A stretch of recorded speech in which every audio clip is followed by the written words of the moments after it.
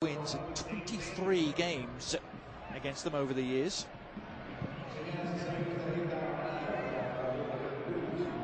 Oh, it's a bouncing ball! An absolute catastrophe for Gruenebaum, but it's just brilliant for the Red Bulls. And is that goal going to go to goalkeeper Danny Cepero? He's getting the plaudits.